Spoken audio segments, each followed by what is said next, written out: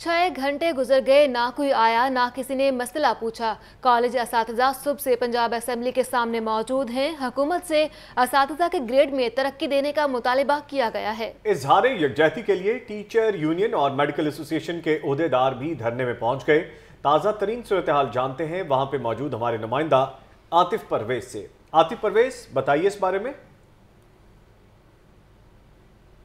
जी, बिल्कुल सुबह बारह बजे से जो है ये धरना शुरू हुआ था और अभी तक जो है Punjab professor and lecture association की जानब से यहाँ पर अपने मुतालबात के लिए धरना जारी है। इसमें जो है एक नुमाइंदा जो है वो डी पी आई कॉलेज़ मुजाकर के लिए पहुँचे थे, लेकिन इस का कहना है कि पहले भी इस तरह के मुजाकर हुए हैं, लेकिन उनको कुछ हासिल नहीं हुआ। अब अगर मुजाकर होने हैं तो उसके लिए सेक्रटरी हायर एजुकेशन या वज़ीर बर अली तालीम जो है वो यहाँ पर पहुँचे और इस के साथ मुजाकर करें। इस वक्त हमारे साथ तंजीम के सदर जो है हाफिज़ अब्दुल खालिक मौजूद है, उनसे बात करते हैं कि कोई उसके बाद आपके साथ मुजाकर के लिए आया, अब छः सात घंटे से ज़्यादा का वक्त हो गया। देखें, अगर वो सीरियस हों मुजाकर में, हम डायलॉग पर यकीन रखते हैं, ये जो दोस्त हमारे पास आए हैं, ये ख़ुद बेख्तियार हैं। इनके पास लेटर तक आगे फॉरवर्ड करने के इख्तियार नहीं हैं।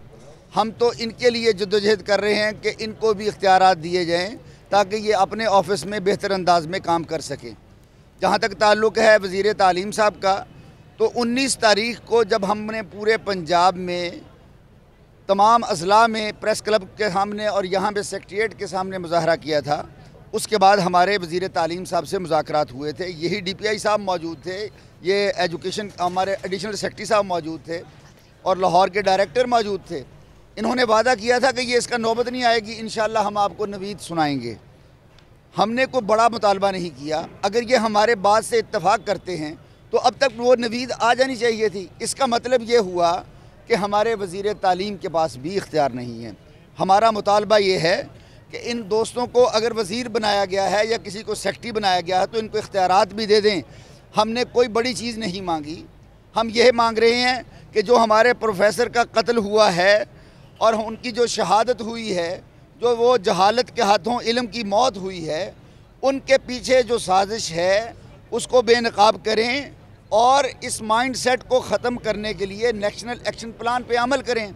दूसरा हमने हमारा मुतालबा ये है कि वो अदालतों का जो फ़ैसला है, जो हमारे भाइयों को पे प्रोटेक्शन दी गई है, जो उनको सर्विस प्रोटेक्शन दी गई है और जो उनकी तनख्वाहों से डिडक्शन हो रही है वो फौरी तौर पे ख़त्म करें। कोई एक पैसा इनमें नहीं लगता।